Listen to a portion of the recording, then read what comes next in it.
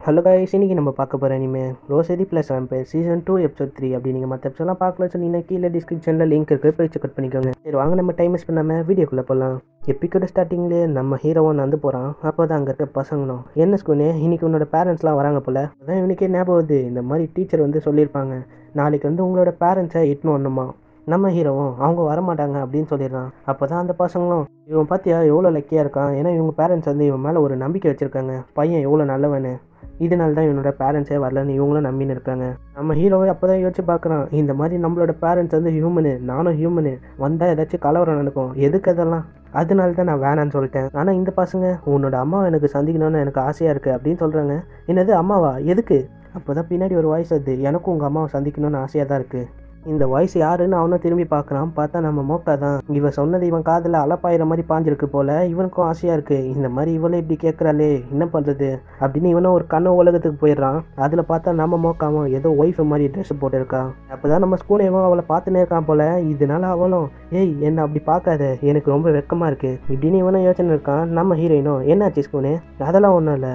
எங்கள் அம்மா வந்தால் நல்லா தான் இருக்கும். அப்படின்னு அவனும் சொல்கிறான் சீனா ஷிஃப்ட் ஆகுது. இந்த சைடு எல்லாரோட பேரண்ட்ஸும் வந்திருக்காங்க. அப்போ தான் நம்ம மோக்கா அண்ட் ஹீரோவும் அங்கே இருக்காங்க. அப்போ தான் அங்கே டேனியும் உட்காந்துருக்கான் இதை பார்த்து நம்ம மோக்காவும் இவன் என்ன சோகமாக உட்காந்துருக்கான் என்னோட பேரண்ட்ஸ் வரலையா என்ன?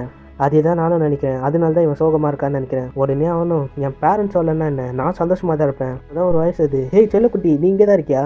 பார்த்தா டேனியோட அவங்க அம்மா தான். இதை பார்த்த இவனும் அம்மா அப்பா நீங்கள் வந்துட்டீங்களா? இப்படின்னு போய் கட்டி பிடிக்கிறான்.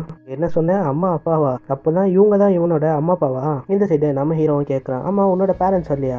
இல்லை எனக்கு யாருமே வரல. யூஸ்வலி எனக்கு யாருமே வரமாட்டாங்க சொல்ல போனால் அதனால நான் கோகோவோட கிளாஸில் போய் அவளை மீட் பண்ணலான்னு இருக்கேன். அப்போ தான் பின்னாடிலேருந்து நம்ம கோகோவாவும் அந்த ஹேமர் எடுத்து ஸ்கூனை மேலேயே அடிச்சிடுறான் என் கிளாஸுக்கு வர பார்த்தா உன்னை இந்த ஹேமரை வச்சு கொண்டுருவேன் உடனே நம்ம ஹீரோவும் அதுக்கு ஏமா என்ன அடிக்க நம்ம ஹீரோயினும் என்னால் தான் உனக்கு அடிபட்டுச்சு. சாரி ஸ்கூனே. அதெல்லாம் பரவாயில்ல. அம்மா ஏதோ ஒன்று சொல்லியிருந்தியே. இது வரைக்கும் எனக்கு பேரண்ட்ஸே வந்ததில்லை பார்க்க. அது ஏன்? அதுவா? அது வந்து சின்ன வயசுலேருந்தே என்னை பார்க்க யாருமே வர மாட்டாங்க நான் ஹியூமன் ஸ்கூலில் படிக்கும் போதும் யாருமே எனக்கு வந்ததில்லை. அதனால இப்போ எனக்கு யாருமே வர மாட்டாங்க என்ன சொல்கிற மோக்கா? உனக்கும் பேரண்ட்ஸ் இல்லையா? எனக்கும் தான். இப்படின்னு அவனும் சொல்கிறான் அவங்க ரெண்டு பேரும் கேஸ் அடிக்கலான்னு வராங்க. நம்ம ஹீரோயினும் ரத்தம் குடிக்கிறான் ஓ இதுக்காக தான் வந்தியா? இவ்வளோ ரத்தத்தை குடிக்கும்போது அங்கே மிஷினை பார்த்துன்னு இருக்கா? இதை பார்த்து அவங்க ரெண்டு பேருக்கு பயங்கரமான ஷாக்கு ஆமாம் நீ எப்போ வந்த? அதுவா நீங்கள் பேச ஸ்டார்ட் பண்ணதுலேருந்தே நான் இங்கே தான் இருக்கேன். எதுக்கு நீ ஸ்டாக்கிங் வரலாம் பண்ணுற இது கேட்டு நாம மிஷினையும் அவளை ஃப்ரீஸ் ஆக்கி விட்டுறா நம்ம மிஸ்டையும் சொல்கிறான் நான் இங்கே எதுக்கு வந்திருக்கேன்னு தெரியுமா? நான் வந்து எங்கள் அம்மாவை உனக்கு இன்ட்ரடியூஸ் பண்ணி வைக்கணுமா அதுக்கே நான் இன்ட்ரடியூஸ் பண்ணிட்டா போச்சு? உங்கள் அம்மா எங்கே? பார்த்தா அவங்க அம்மா பின்னாடி தான் இருக்காங்க. இதை பார்த்து நம்ம ஹீரோ பயங்கரமாக ஷாக் ஆயிடுறான். இப்போ தான் எனக்கே புரியுது. நம்ம மிஸ்டே எதுக்கு ஸ்டாக்கிங் வரலாம் பண்ணுறான்னு ஏன்னா இந்த ஸ்டாக்கிங் வேலையே இவங்க அம்மாவால் தான் இவளுக்கே வந்திருக்கு. மிஸ்டர் ஏன் சொல்கிறா இந்த மாதிரி இவன் தான் என்னோட பாய் ஃப்ரெண்ட் இதை கேட்டு அவங்க ரெண்டு பேருமே ஷாக் ஆயிடுறாங்க. நம்ம ஹீரோவும் நான் எப்போ உனக்கு பாய் ஃப்ரெண்ட் ஆனேன் அப்படின்னு சொல்லலான்னு வரான். இதை கேட்ட நம்ம மிஸ்டையும் ஏய் இப்போதைக்கு எங்கள் அம்மா வந்திருக்காங்க. அது நல்ல பாய் ஃப்ரெண்டு மாதிரி கொஞ்ச நேரம் நடி. உடனே அவங்க அம்மாவும் என் மிஸ்டை சொன்ன அழகான பையன் நீதானா? உன்னை சந்தித்ததில் எனக்கு ரொம்பவே சந்தோஷமாக இருக்குது நம்ம ஸ்கூனேவும் அவங்க அம்மாவை பார்த்து ரொம்பவே ஆச்சரியமாயிடுவான். ஏன்னா அவங்க அம்மா அவ்வளோ அழகாக இருப்பாங்க. அதுவும் இல்லாமல் ட்ரெடிஷ்னலான ஒரு லுக்கில் இருக்காங்க. இதையும் அவன் பார்த்துன்னு இருக்கும்போது சைடில் நம்ம மோக்காக்கு இதெல்லாம் பிடிக்கல போல் இதனால அவளும் ஒரு மாதிரி பார்க்குறான் இப்போ தான் அவ்வளோ யோசிக்கிறான் நானும் ஸ்கூனேவும் இந்த மாதிரி ஜாலியாக இருக்கும்போது தான் யாராச்சும் வந்து குழப்பி விட்டுறாங்க இந்த குட்டியை. அப்போ தான் அவங்க அம்மாவும் ஆமாம் இந்த பொண்ணு யார்? உடனே நம்ம மிஸ்டையும் இவ வந்து நாங்கள் எப்பயுமே ஒன்றா இருக்கும்போது எங்களை ஸ்டாக்கிங் வேலை பண்ணியிருப்பா. நம்ம மோக்காவும் யோசிக்கிறான் இந்த மாதிரி நீ தானே இந்த வேலையெல்லாம் பண்ணுவேன் அப்படின்னு தான் அவளோட ரியாக்ஷனும் இருக்குது திடீர்னு பார்த்தா நம்ம குரமும் நம்ம ஹீரோ மேலே தாவரா ஏ ஸ்கூனே இங்கே தான் இருக்கியா? நான் உன்னை தேடினே இருந்தேன் தெரியுமா? அப்படின்னு அவ்வளோ தாவரா அப்போ தான் அவ்வளோ அவங்க அம்மாவை இன்ட்ரடியூஸ் பண்ணுறா இதை பார்த்து அவங்க அம்மாவும் நீ சொன்ன ஃபியான்ஸே இவன் தானா? நம்ம ஹீரோயினுக்கு பயங்கரமான ஒரு ஷாக்கு அவன் என்னன்னா பாய் ஃப்ரெண்டுன்னு சொல்கிறான் இவன் என்னன்னா ஃபியான்ஸேன்னு சொல்கிறான் அப்போ பக்கத்தில் இருக்க பொண்ணுன்னா லவ்வரா அவங்க அம்மாவும் நம்ம ஸ்கூனேவை பிடிச்சி நம்ம குருமா பண்ணுற மாதிரியே பண்ணுறா நம்ம ஸ்கூனேவும் யோசிக்கிறான் இவங்களுக்கு ரொம்ப சாஃப்டாக இருக்குது அவங்களும் சொல்கிறாங்க இந்த மாதிரி குரமோ தான் என்னோட டாக்டர் அவளுக்கு அவ்வளோ எக்ஸ்பீரியன்ஸ்லாம் இல்லை. நீ வேணா என் கூட ஒரு நாள் டின்னருக்கு வரியா? இப்படின்னு சொல்லி நம்ம ஸ்கூனேவோட கையை அவங்க மேலே வைக்கிறாங்க. இதை பார்த்து நம்ம ஸ்கூனேக்கு மூக்குலேருந்தே ரத்தம் ஊற்றுது அதுவும் இல்லாமல் இவங்க வந்து நம்ம ஸ்கூனேவை உஷார் பண்ண பார்க்குறாங்க இப்படின்னு இவங்க பேசினு இருக்கும்போது நம்ம யூக்குட்டியும் அவங்களோட பேரண்ட்ஸ் ஆகிட்டுன்னு வரா.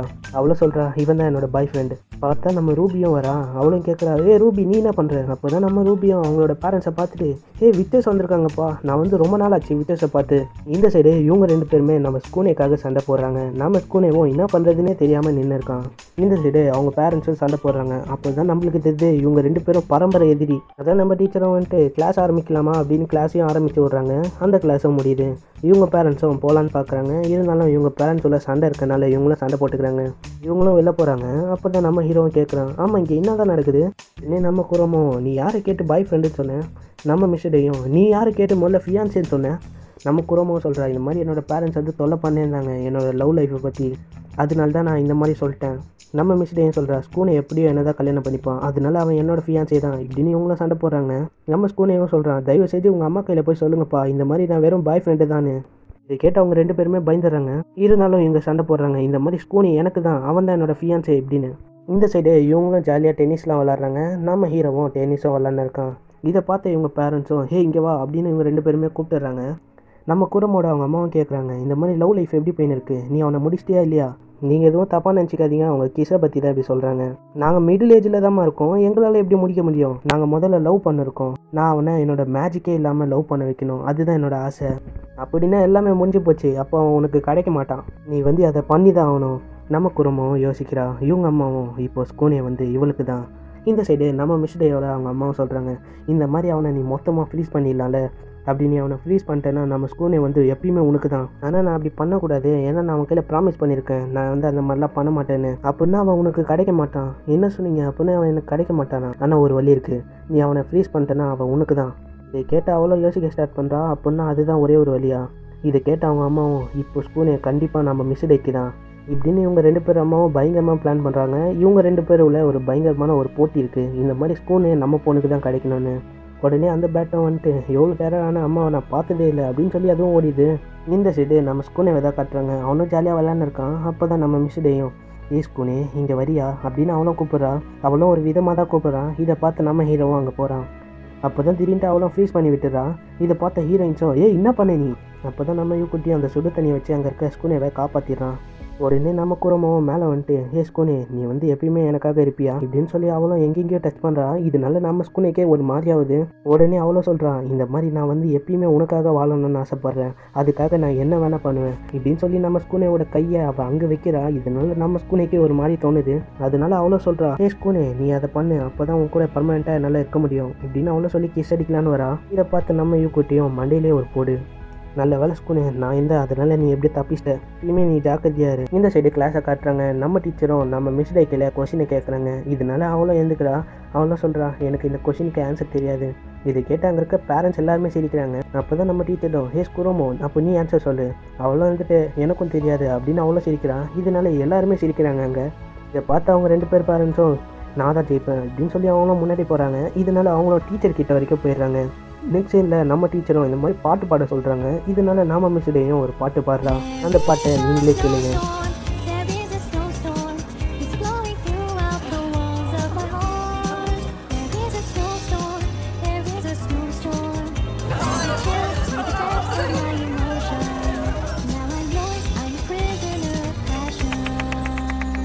There நம்ம a பாடுறா. அது நீங்களே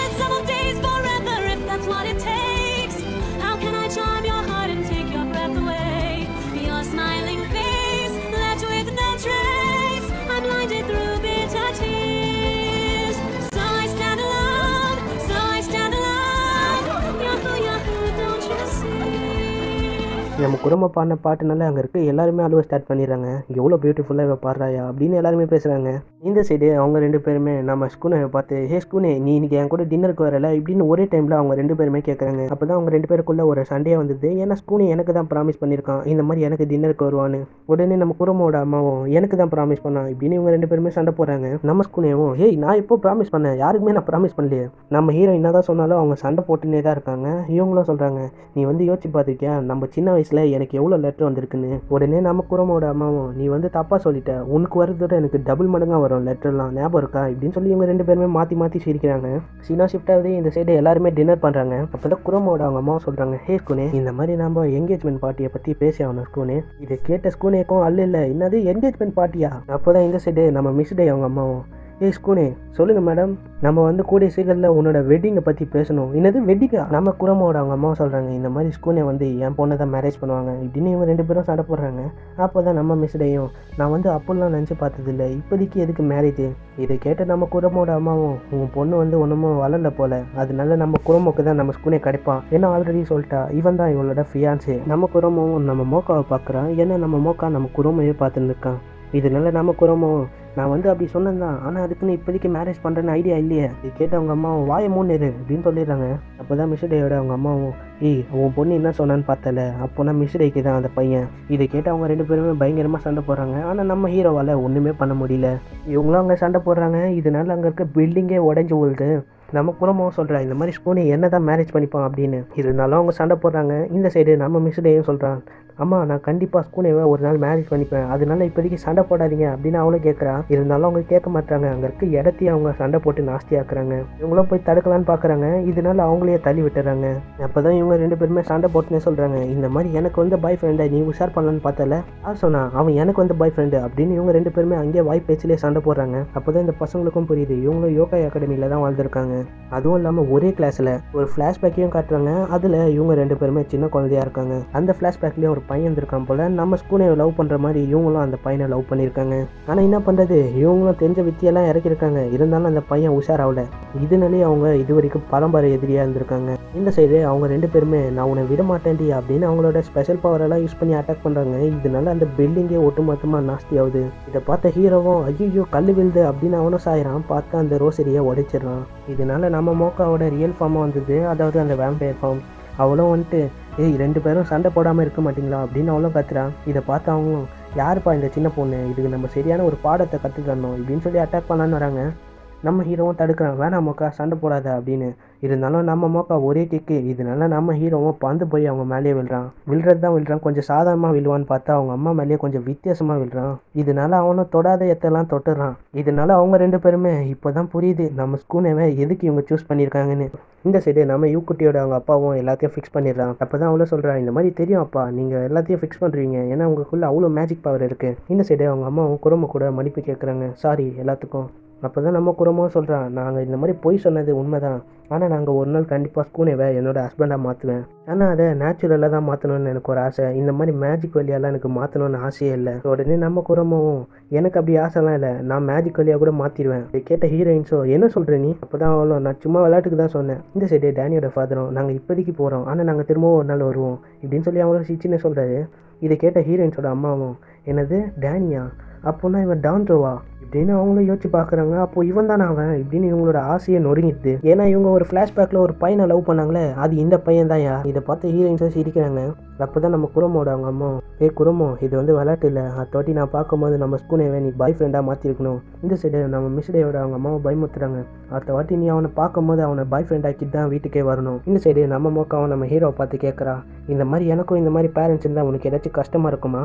நம்ம ஹீரோவும் எனக்கு அப்படிலாம் இல்லை. எனக்கு பேரண்ட்ஸ் எப்படி இருந்தாலும் எனக்கு பரவாயில்ல. ஆனால் நான் உன் மேலே இருக்க ஃபீலிங்ஸ் எனக்கு மாறாது. இதை கேட்ட ஹீரோயினும் இது உண்மையாவா? ஆமாம் இப்படின்னு சொல்லி அவனும் கிட்ட வரா. அவனும் ரத்தத்தை உஞ்சிடுறான் இங்கே இந்த எபிசோட முடியுது. இதே மாதிரி மற்ற எபிசோட்லாம் வேணும்னு நினச்சிங்கன்னா மறக்காம சப்ஸ்கிரைப் பண்ணி பெல்லைக்கு நாள் தேர்ச்சிக்கோங்க மறக்காம கீழே லைக் பண்ணி ஒரு கமெண்ட் பண்ணுறேங்க இவங்க அந்த வீடியோ இதோட முடிச்சனால நானும் இந்த வீடியோவை இதோட முடிச்சிடறேன். உங்களை நான் நெக்ஸ்ட் எபிசோடில் சந்திக்கிறேன். அது வரைக்கும் சாயனரா